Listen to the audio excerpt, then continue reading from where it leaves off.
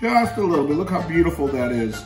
It's like a work of art. I don't think, I don't think even Michelangelo or Leonardo da Vinci could have made a more beautiful painting than that. It's magnificent.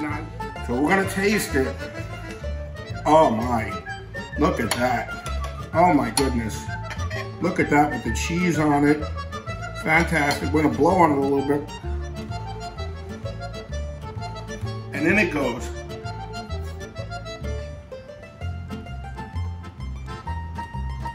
Wow.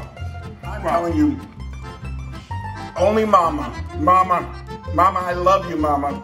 You gave me such a wonderful gift. No, no amount of money could have bought this gift right here, what my mother gave me. This delicious food, a little more escarole. Mmm, mmm, mama.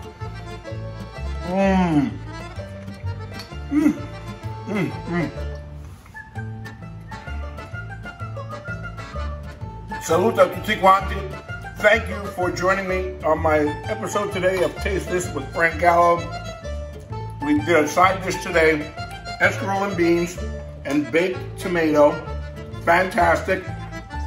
Wait until you see what I'm going to be bringing to you next time on our next episode. Thank you for joining us. Please remember to like and subscribe. It's very important that you do that. Ciao.